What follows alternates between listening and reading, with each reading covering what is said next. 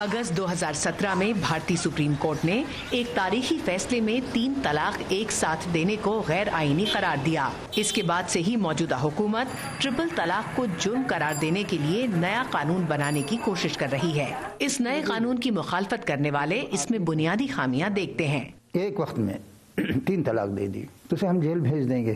اور وہ طلاق ہوگی نہیں۔ دونوں جو ہیں وائف اینڈ ہسبینڈ کے طور پر رہیں گے۔ تو پھر کس کی سزا دے رہے ہیں آپ؟ سول معاملے میں آپ نے کرمنل لاز کو انٹروڈیوس کیا ہے یہ ایک بہت بڑا جورس پروڈنس کا کنٹرڈکشن پیدا کیا آپ نے۔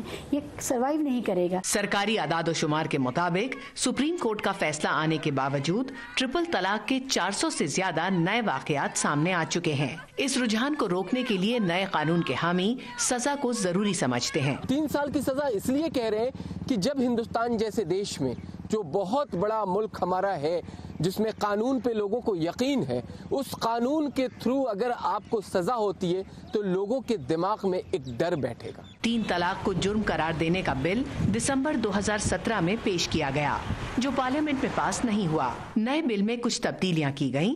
مثلاً، پہلے شوہر کے خلاف کوئی بھی شکایت کر سکتا تھا، لیکن اب یہ حق صرف بیوی اور اس کے گھر والوں کے پاس ہے۔ شوہر کو ضمانت کے لیے عدالت جانا ہوگا۔ سمجھوتا ہونے کی صورت میں بیوی شکایت واپس لے سکتی ہے۔ تین طلاق دینے والے شوہر کو تین سال تک کی قید اور اس پر بیوی کو نان نقفہ دینے کی ذمہ داری برقرار رکھی گئی ہے۔ اسی مرد پر جس کو آپ جیل بھیج رہے ہیں، اسی شوہر پر آپ نے یہ ذمہ داری عائد کی ہے کہ وہ گزارا بھتہ بھی دے، وہ خیال رکھے۔ تو یہ ساری چیزیں وہ جیل سے بیٹھ کے کیا وہ پریزن لیبر کر کے وہ کرے گا؟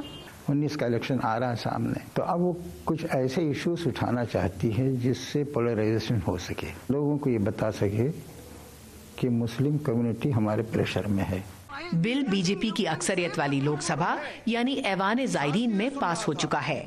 ایوان بالا یعنی راجیہ سبھا میں یہ اٹکا ہے، جہاں بی جے پی کی اکثریت نہیں۔ ابھی یہ بل صدارتی آرڈیننس کے ذریعے لاگو ہے۔ اسے قانون میں تبدیل کرنے کے لیے پارلیمنٹ کی مہر ضروری ہے۔ جو دو ہزار انیس کے انتخاب سے پہلے مشکل نظر آتی ہے۔ Ratal Joshi voice of America Delhi.